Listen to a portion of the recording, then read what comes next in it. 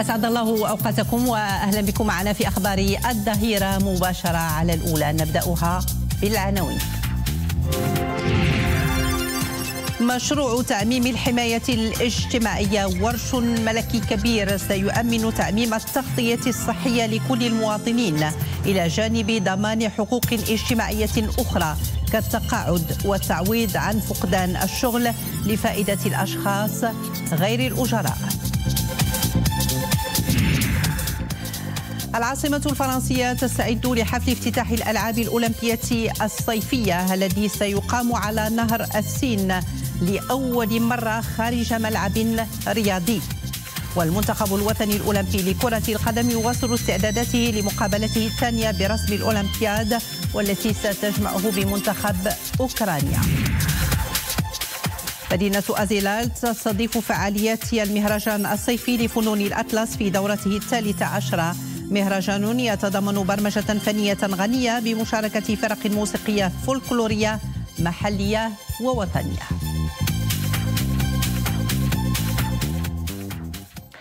أهلا بكم. وبداية حل رئيس الحكومة عزيز أخنوش أمس بالعاصمة الفرنسية باريس.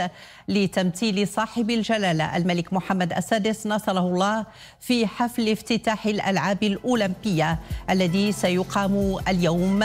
وللمشاركة في قمة للرياضة والتنمية المستدامة التي ستجمع رؤساء دول وحكومات ورؤساء منظمات دولية ورياضيين وممثلين عن الحركة الرياضية إضافة إلى الجهات الفاعلة في تمويل التنمية. قمة تنظم بمبادرة من رئاسة الجمهورية الفرنسية واللجنة الأولمبية الدولية وبدعم من الوكالة الفرنسية للتنمية.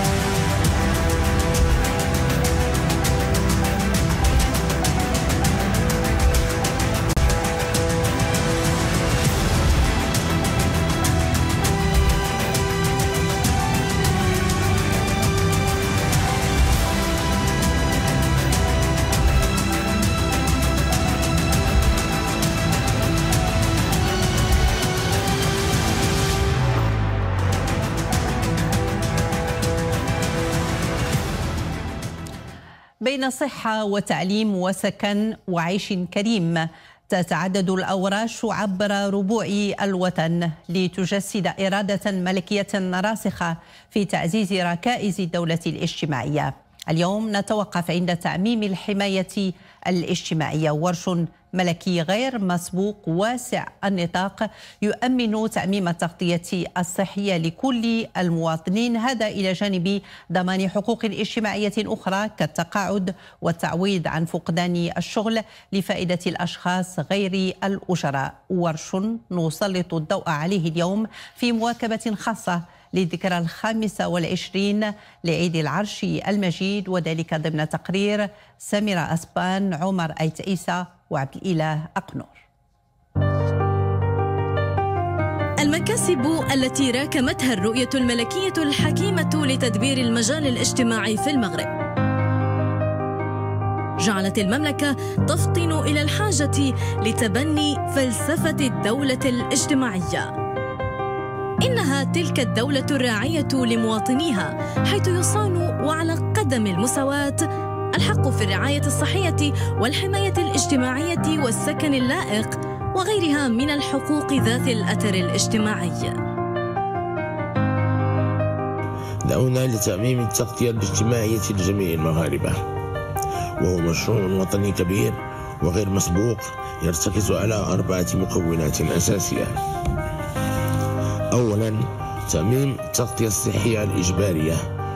ففي أجل ففي أجل أقصاه نهاية 2022 لصالح 22 مليون مستفيد إضافي من التأمين الأساسي من المرض سواء ما يتعلق بمصاريف التطبيب والدواء أو الاستشفاء والعلاج.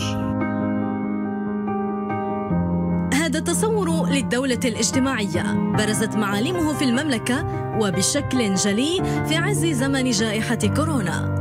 حين أطلق جلالة الملك محمد السادس نصره الله ورشا بارزا اعتبر ثورة اجتماعية غير مسبوقة.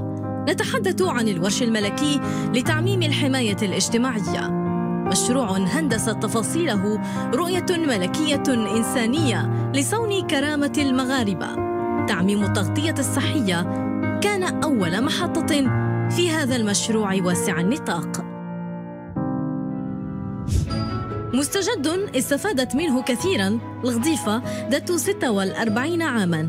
هذه الأرملة التي كانت ضمن المستفيدين من نظام المساعدة الطبية رماد تكابد منذ سنوات مشكلة صحية مزمنة على مستوى الغدة الدرقية.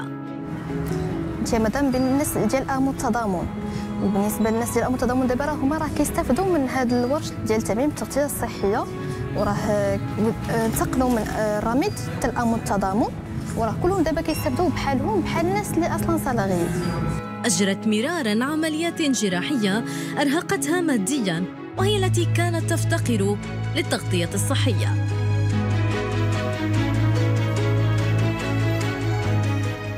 الله ينصر سيدنا. اللي دري درينا هذا الشيء هذا أمر تضامن بعدا ماشي كيف كلنا. كنا ما عندناش نشرو الدواء تنضيعوا فيه. تندوزو. ما طيشت لينا والو. دابا ودروك اللهم لك الحمد الله يخليه لينا وينصرو 9.5 ديال المليار ديال الدرهم اللي تنجزات وتصرفات على الناس اللي عندهم الغير القادرين على الاشتراك اللي كانوا هما في الرميد ودازوا الامر التضامن واللي كيعدوا تقريبا ما بين 10.5 مليون حتى 11 مليون يعني مستفيد. هذا شيء كبير. وكذلك بالنسبة للأصناف الأخرى فبالتالي ما بقى حتى شي واحد خارج التغطية. إلى جانب التغطية الصحية التعويضات العائلية التقاعد والتعويض عن فقدان الشغل. مكاسب يضمنها اليوم ورش تعميم الحماية الاجتماعية للأشخاص الذين يزاولون عملا حرا.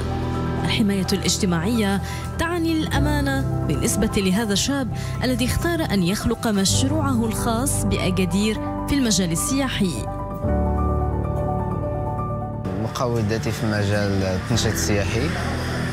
بادي في المشروع ديالي من 2017 كنا بدينا بدون تغطية صحية يعني كنا غير خدامين وصافي يعني ما ما كانوش عندنا تعويضات لا لا بالنسبة للمرض ديالنا لا بالنسبة للأدوية.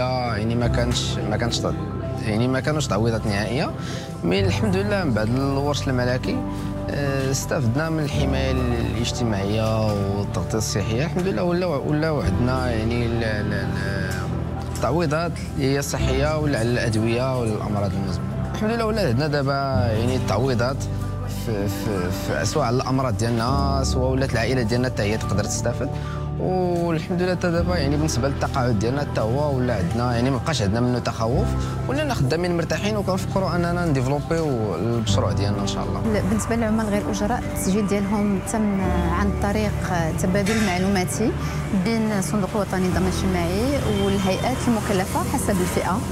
بالنسبة للمستفيدين من نظام امو التضامن كان التسجيل ديالهم كذلك عبر تبادل معلوماتي بين الصندوق الوطني للضمان الاجتماعي ووزارة الداخلية. طبعا بعد التسجيل ديالهم في السجل الوطني آه، للسكان والسجل الاجتماعي الموحد و آه، يعني ايداع طلبهم في البوابة المخصصة. تعميم التغطية الصحية لكل المغاربة. يمثل اليوم ثورة اجتماعية غير مسبوقة. ورش يعكس إرادة ملكية راسخة لتوطيد العدالة الاجتماعية في البلاد. ولتسليط الضوء على أهمية هذا الورش الملكي المهيكل يحضر معنا ضيفا في الأستوديو الأستاذ طارق لكحل أستاذ الاقتصاد بجامعة محمد الخامس بالرباط. مرحبا بكم أستاذ. مرحبا أستاذة بن حليمة مرحبا. وبداية تعميم الحماية الاجتماعية ببلادنا مقاربة ملكية شاملة ومتفردة ومؤثرة للسياسات العمومية الاجتماعية. فما الأهمية التي يكتسيها تعميم التغطية الصحية الإجبارية ليستفيد منها جميع المواطنين على حد سواء؟ اولا يعني أهمية تكتسي أبعاد التغطية الإجبارية الصحية العمومية آه، تؤثر عدة جوانب وتؤثر بشكل مباشر وإيجابي على المواطن المغربي ولها عدة أبعاد يعني البعد الأول يمكن تلخيصه في الوصول العادل للخدمات الصحية أن أي أن كل المغاربة الفئات المجتمعية تستفيد من الخدمات الصحية المقدمة من طرف الدولة المغربية نعم. آه ثانيا على المستوى تحسين مستوى العيش نعم. آه بالتالي أنه تخفيف عبء يعني الكل يعرف تكاليف التكاليف الصحيه هي تكاليف باهظة لا سيما في خلال يعني اذا كان آه، فيما يتعلق بالأمراض المزمنة وبالتالي أنه تخفيف آه، العبء على المواطن المغربي من شانه يعني رفع المستوى المعيشي لا سيما أننا نعرف يعني ارتفاع مضطرد بالنسبة لاثمن مجتمعات الخدمات المقدمه نعم. وفي النطاق الثالث ألا وهو تقليص الفوارق وضمان العدالة الاجتماعية. أنه بغض النظر عن المستوى الاجتماعي أو أو الاقتصادي المغاربة الكل آه، يستفيد على قدم المساواة من تقديم وتحسين يعني الخدمات والعرض الصحي آه، المقدم. وعلى المستوى يعني الرابع آه، هو تحفيز الاقتصاد الوطني. نعم. الكل يعرف أن يعني صحة جيدة أن كلما كان يعني الموظفين أو المستخدمين أو الأجراء بصحة جيدة فهو عامل في يساهم في تحسين الإنتاجية الإنتاجية. نعم. طيب تعميم وتوسيع التامين الإجباري عن المرض طبعا يتطلب اتخاذ تدابير تشريعية تنظيمية مالية ومؤسساتية. فكيف ساهم الحرص الملكي السامي والفعلي على تتبع ومواكبة هذا الورش في بلوغ مراحل متقدمة وفي الآجال المحددة؟ اولا يجب التذكير أن صاحب الجلالة يعني في مناسبات عديدة لا سيما في خطاب عيد العرش 2020 وكذلك يعني آه، خطاب أمام البرلمان في دورة 2020 وكذلك يعني يعني آه، اطلاقه يعني والرمزيه والدلالة لصاحب الجلالة آه، يعني هاب الورث الورش المجتمعي اللي هو تعميم الحماية الاجتماعية في 14 ابريل 2021 ألا وهو ورش تنزيل الحماية الاجتماعية نعم. وبالتالي هذا هذا الحرص الملكي على تتبع هذا الورش المجتمعي الكبير آه، كان كان عنده مجموعة ديال الآليات أولها يعني الإطار القانون الإطار 0921 الذي يعتبر مثابه يعني خارطة طريق تنزيل ورش الحمايه الاجتماعية وكذلك الآليات المواكبة من قبيل يعني المبتكرة من قبيل يعني السجل الاجتماعي الموحد وكذلك السجل الوطني للسكان للاستهداف المباشر للساكنة وكذلك يعني رصد ميزانية مهمة اللي تتراوح تتعدى 50 مليار ديال الدرهم والإشارة فإن يعني تعميم وورش يعني التغطية الصحية يعني من الانتقال من رميد النظام الإجباري راه كلف 20 مليار ديال الدرهم نعم. وبالتالي أنه كل هذه يعني يعني الفترة هذه الفترة هي تخللت بمجموعه من المنجزات لا على المستوى يعني التغطية الصحية على المستوى أيضا أيضا انتقال من منطق الاستهداف الغير المباشر للاستهداف المباشر نعم. لفائدة الفئات الفئات ذوي الاحتياجات الخاصه وكذلك كبار السن. نعم. شكرا لكم على هذه المعطيات الأستاذ طارق لكحل أستاذ الاقتصاد بجامعة محمد الخامس برباط وشكرا على حضوركم معنا. شكرا سيدتي مرحبا.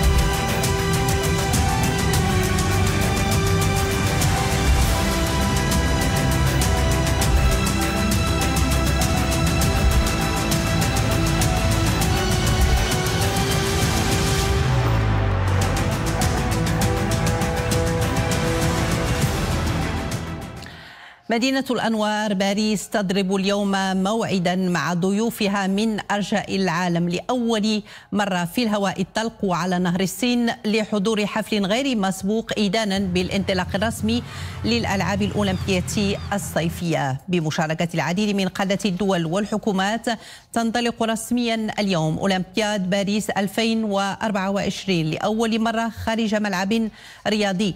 باستعراض يدوم أربع ساعات على متن عبارات وقوارب في نهر السين لحوالي سبعة ألاف رياضي من الدول المشاركة. وسط أجواء احتفالية متفردة يشارك نحو ثلاثة ألاف راقص وممثل في 12 عرضا فنيا.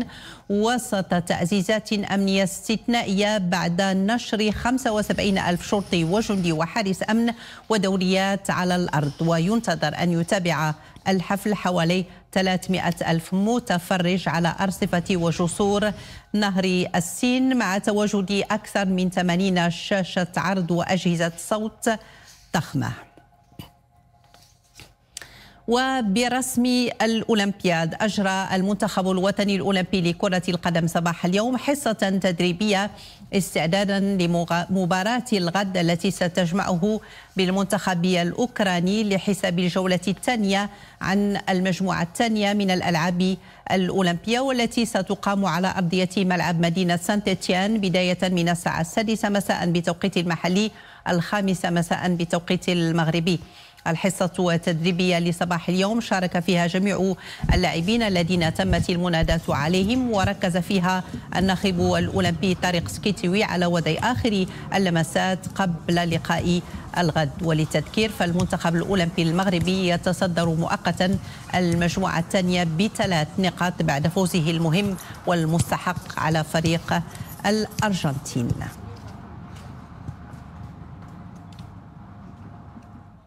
وعن هذه الحصة التدريبية واستعدادات الفريق الأولمبي لمباراة أوكرانيا نتابع هذه التصريحات لبعض عناصر المنتخب الوطني الأولمبي.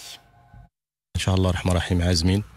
بواحد الثقة في الله بواحد العمل اللي كيتنجز يومي واللي مساعديننا فيه اللاعبين كثير بالعقلية ديالهم بالانضباط ديالهم بالروح الجماعية اللي عايشين فيها. كنظن عازمين إن شاء الله باش أننا نفوزوا بالمقابلة إن شاء الله الرحمن الرحيم. المقابلة ما تكون سهلة. تكون محتاجة بزاف ديال التركيز تكون محتاجة بزاف ديال la discipline tactique تكون محتاجة بزاف ديال القلب وديال الروح وتكون محتاجة كذلك بزاف ديال الصبر. فان شاء الله الرحمن الرحيم ربي يوفقنا فيها باش أننا إن شاء الله نفرحوا الشعب المغربي إن شاء الله الرحمن الرحيم قاطبة.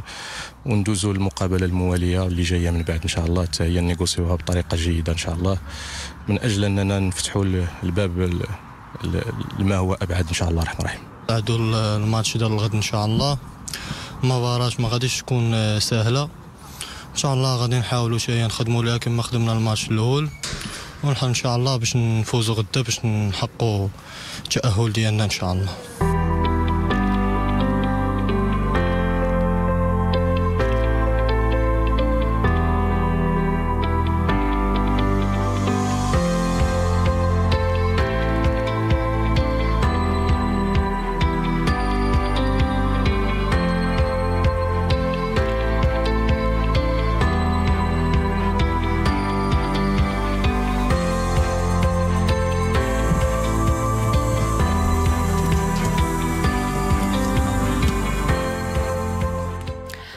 وللحديث عن مباراة الغد يحضر معنا ضيفا في الأستوديو الإطار الوطني والمحلل الرياضي إدريس عبيس.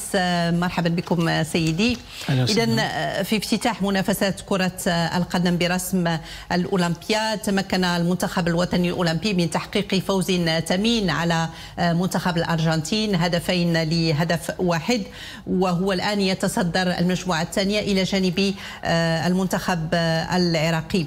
غدا العناصر الوطنية في مواجهة آه، الفريق الأوكراني. فكيف ترون حظوظ آه، العناصر الأولمبية؟ وخصوصا بالنظر لما قدموه من أداء جيد في مباراتهم أمام الأرجنتين. أولا شكرا على هذا السؤال لأنه الجمهور المغربي سواء داخل المغرب خارج المغرب وعلى مستوى العالمي أنهم تفاجؤوا بالعناصر لكن نحن كمتتبعين على الشأن الداخلي ربما هذه السياسة ديال الدولة اللي كانت مدة طويلة جدا وخاصة رئيس اللجنة الأولمبية اللي كان يشتغل على برنامج أولمبي ربما كان اجتماعات وأنا حضرت واحد مجموعة الدورات التكوينية داخل الهيئة الأولمبية وبالتالي كان عطى واحد الصورة على أنه تكون أحسن العناصر اللي خاصة أن تبني واحد الاستراتيجية معينة وتش يعني وتتمم يعني ما ما الفريق الأول من قطر وبالتالي أن منتخب القاعات ثم النسائي فبالتالي جاء دور على الفئة ديال 23 اللي هي آه، سن النضج السن الذهبي اللي عند جميع اللاعبين.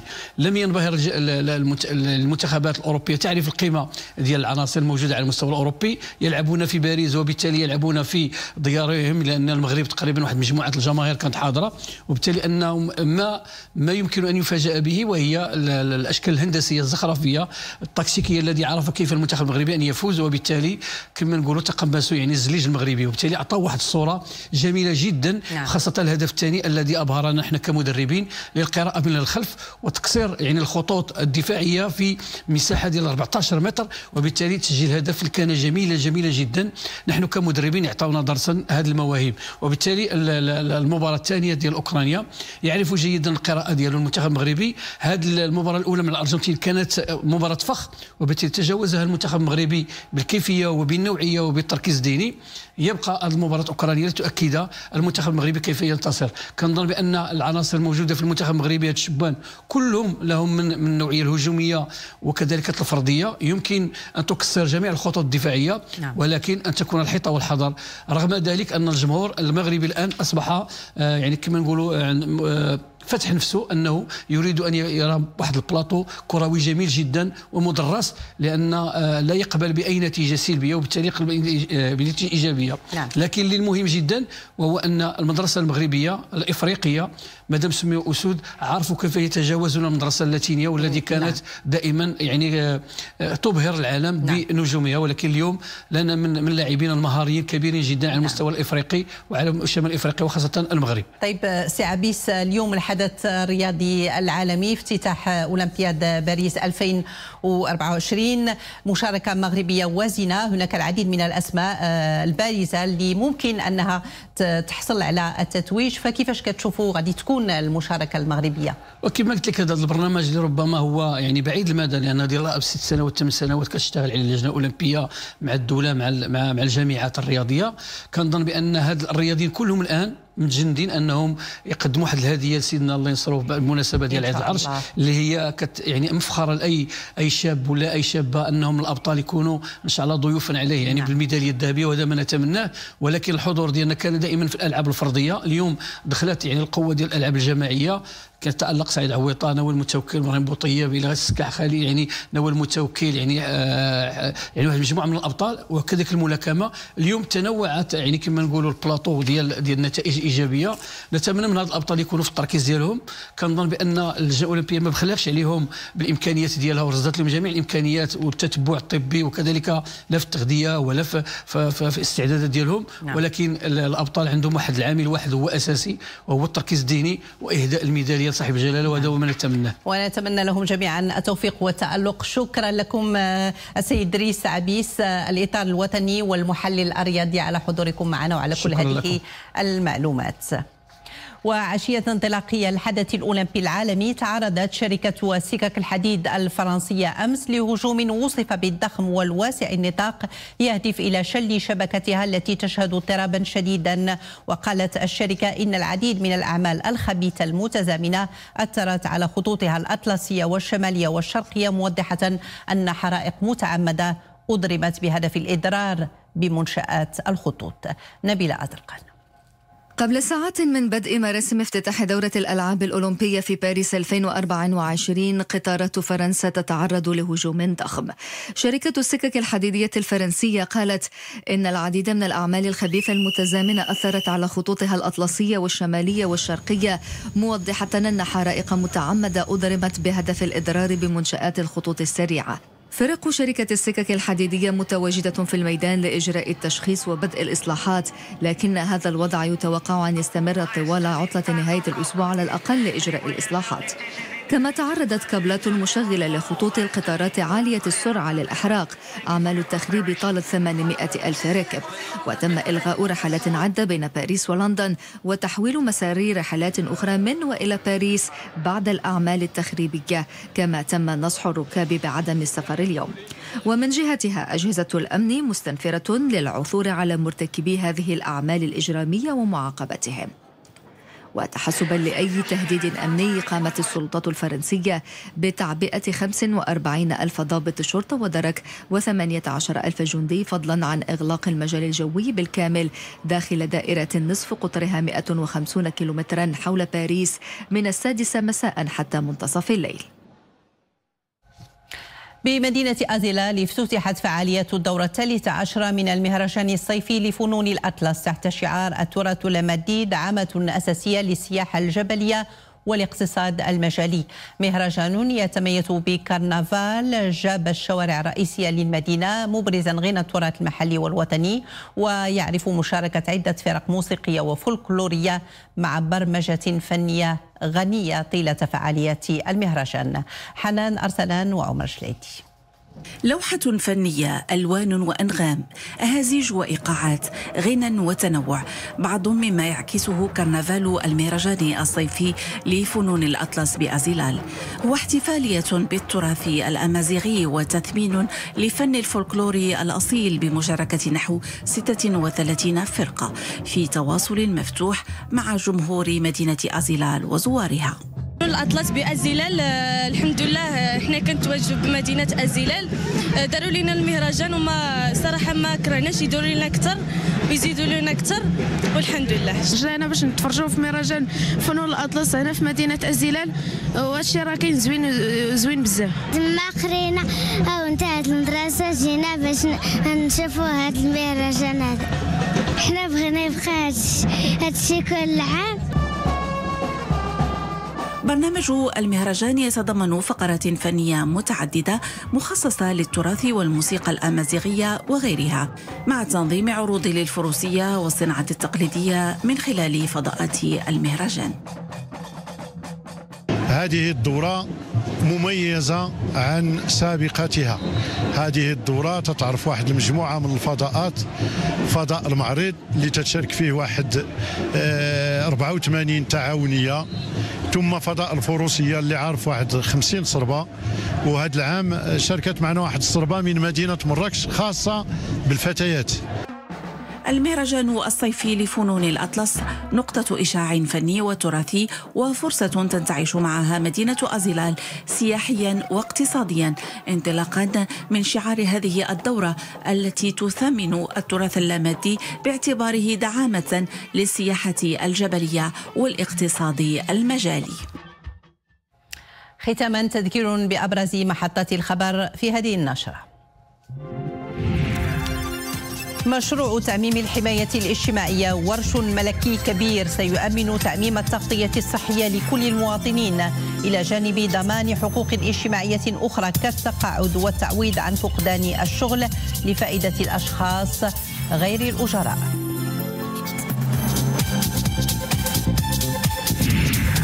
العاصمة الفرنسية تستعد لحفل افتتاح الألعاب الأولمبية الصيفية الذي سيقام على نهر الصين لأول مرة خارج ملعب رياضي.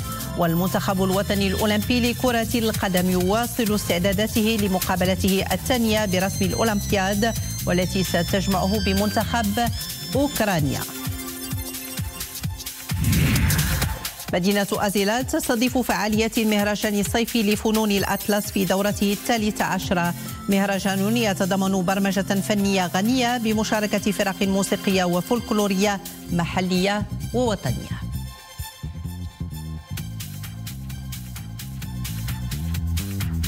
شكرا لكم على حسن المتابعة وإلى اللقاء.